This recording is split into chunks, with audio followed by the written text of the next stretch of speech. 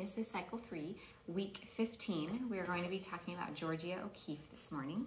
Um, we have some quotes from her in the script and we have some information about her that you can read to your class um, about who she was and kind of what she did. We have, again in here, um, some examples of some of her artwork. This one might seem familiar to you. You might have seen them, oops, this way. Maybe you've seen them in um, dentist's office or doctor's offices have a lot of these pictures in it.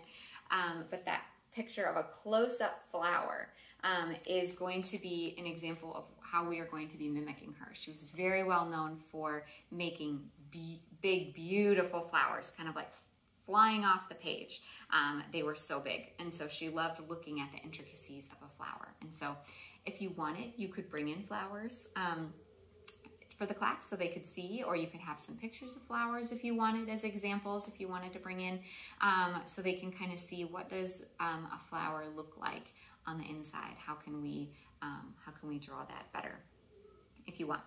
Um, we are going to be um, mimicking her in making a big flower this morning. So we're gonna be making something that looks a little like this.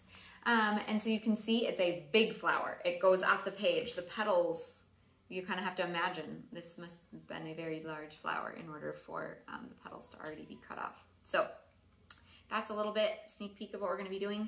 You're going to want to make sure you have your paint brushes, your paint, um, you'll want your paint palettes that you have, those little um, white ones um, for your class, cups for water, um, glue, markers, tissue paper. So we have some tacky glue, got some tissue paper, optional at the end. So we are going to be making a flower. So the bigger kids might just want a freehand doing a big circle in the middle. Um, or some people are very exact. They like to have something. You're welcome to just bring something from home um, to put around it and just kind of trace. People are exact and like it to be a perfect circle. It's a good way to make a nice big circle for the center of our flower.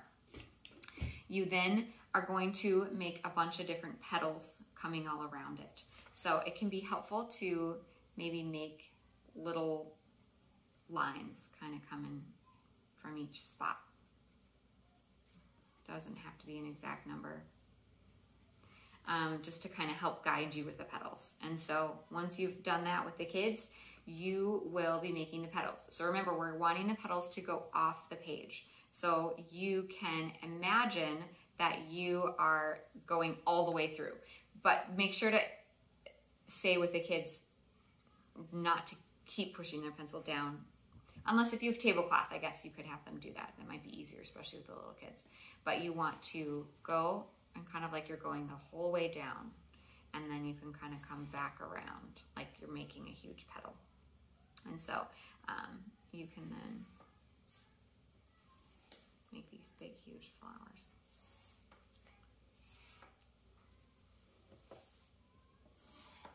So it's like if you're making a big, huge flower.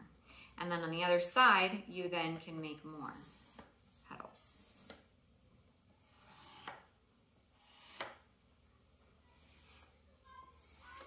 Okay, so that's kind of your making of the petals. If you want, you could have kids, instead of using a pencil, just using a crayon right away. Um, and then that way, whatever mistakes they made, it's just, it's okay. We just move on. Or you can opt to do the pencil first and then the, the different color of uh, pastel or crayon. You can use pastels or crayons. It's nice to use something like a pastel or a crayon because you will see the, um, the vividness of the outside of the petal by doing it that way, especially since we're using tempera paint. So it doesn't matter the color. They can kind of have fun with whatever color they want. So there's that. Then you will get the paint out. So you will have the paint and you'll get to paint what you want. You can allow the kids a little bit of freedom if you want for painting. Um, I just recommend that you have them paint opposites of color for the outside or the inside. So if you're going to do blue for the outside, don't pick a blue color for your petal. So you can see I picked more of like a purple-ish blue for the outside. So then I did more of a pink for the petal. So you can do that as you color. um, and kind of have fun with it. You have bigger kids, it can be fun to kind of mix a little bit of white in to try to add a little bit more texture um, and look a little different with the petal. I know it's hard, especially with bigger kids. We're using tempera paint, not acrylic. You can't get real detailed, but they can still kind of have fun with it of picking a different color. If they pick more of a shade, if you pick white or if you pick black, make sure to have those um, whites and blacks with you um, that week. So that way you can kind of make it a little bit different so you can kind of see um, the flower.